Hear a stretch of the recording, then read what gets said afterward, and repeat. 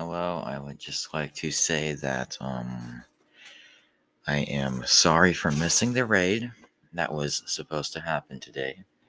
It was supposed to be at 4 p.m. EST, which is 3 p.m. Central Time. I was um not paying attention to the time. I was too caught up playing Roblox games. And I was just not paying attention to the time. So I'm here to apologize for missing today's raid. I'd like to say I'm sorry for missing it and not paying attention to the time. And I will make sure next time to pay attention to the time and hope that this does not happen again.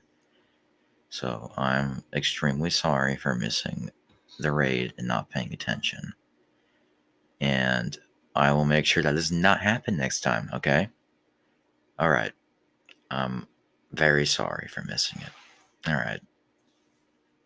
That's all. I'm just apologizing. I'm sorry.